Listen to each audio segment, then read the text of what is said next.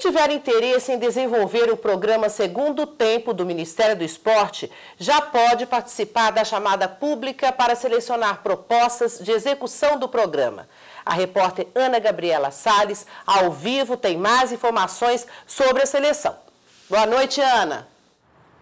Boa noite, Débora. Podem enviar propostas, segundo o edital, órgãos da administração pública, direta ou indireta, de qualquer esfera do governo, além de entidades privadas sem fins lucrativos, exceto aquelas que já estejam executando algum convênio do programa Segundo Tempo. Mas para nos dar mais detalhes, ao meu lado eu tenho aqui o secretário nacional de Esporte Educacional do Ministério do Esporte, o Adson Ribeiro. Boa noite, secretário. Bom, vamos começar explicando para quem está em casa o que é o programa Segundo Tempo, qual o objetivo Boa noite. O programa Segundo Tempo é um programa destinado a crianças e jovens de 6 a 17 anos que funciona no contraturno da escola, por isso segundo tempo.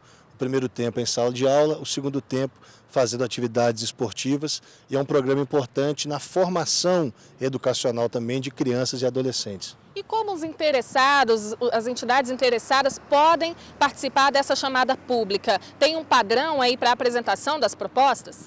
Olha, é, todos os governos estaduais, prefeituras municipais, é, entidades privadas sem fins lucrativos, é, órgãos também do governo federal podem se inscrever e serem parceiros do Ministério do Esporte na implementação do programa Segundo Tempo. Esse edital vai até o dia 12 de agosto.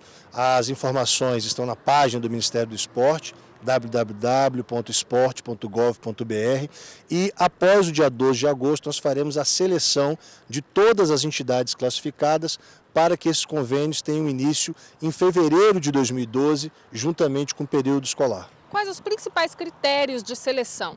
Olha, nós privilegiamos aquelas crianças e aqueles jovens que se encontram em condições de vulnerabilidade social, em áreas de menor índice de desenvolvimento humano, colégios também com menor IDEB e todos esses selecionados a partir de 2012 terão acesso ao programa Segundo Tempo. Como o senhor falou, então, o programa Segundo Tempo é de inclusão social. Então, qual a importância dessas instituições se inscreverem, participarem aí enviando propostas? Olha, a importância é porque cada real que o governo federal investe nesse programa são outros tantos reais que nós estamos economizando, por exemplo, na saúde pública, com a segurança pública, formando uma geração de brasileiros com os valores positivos do esporte, valores de solidariedade, de companheirismo, de respeitar o seu limite, o limite do próximo. Portanto, é um programa que, através do esporte, procura incluir socialmente milhões de crianças e de jovens em todos os estados e num número muito grande de municípios em todo o Brasil. Ok, muito obrigada pelas informações. E lembrando que todas as dúvidas podem ser esclarecidas na página do Ministério do Esporte. E os núcleos de esporte educacional devem ser implementados com recursos do Orçamento Geral da União de 2011. Voltamos ao estúdio. Obrigada, Ana.